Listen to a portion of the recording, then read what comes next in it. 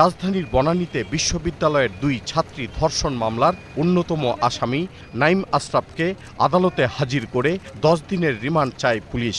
শুনানি শেষে বিচারক সাত দিনের রিমান্ড মঞ্জুর করেন। ডিএমপি মিডিয়া সেন্টারে এ বিষয়ে কথা বলেন অতিরিক্ত কমিশনার মনিরুল ইসলাম।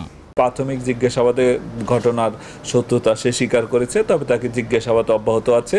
জিজ্ঞাসাবাদ শেষেই আমরা এই বিষয়ে মানে কি পরিস্থিতিতে কি হয়েছিল সেটি আমরা নিশ্চিত করতে পারব।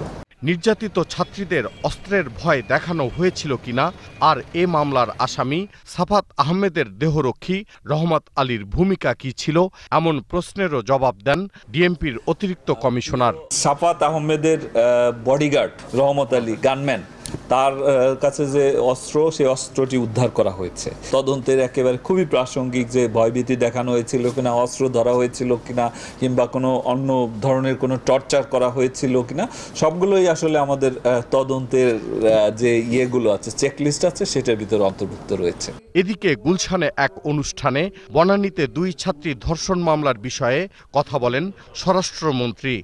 তদন্ত অনুযায়ী যার নাম চলে আসবে, যারা সহযোগিতা করছে বলে প্রমাণিত হবে, তার অবশ্যই আইন অনুযায়ী ব্যবস্থা হবে। সে যেই হোক যত ক্ষমতাধর ব্যক্তিত্ব হোক। এছাড়া আদালতে স্বীকারোক্তিমূলক জবানবন্দি দিয়েছে মামলার অন্যতম আসামি সাফাত আহমেদ ও সাদমান সাকিব। জবানবন্দি শেষে তাদের জেল হাজতে পাঠানো হয়। দীপু সারোয়ার, একুশে টেলিভিশন, ঢাকা।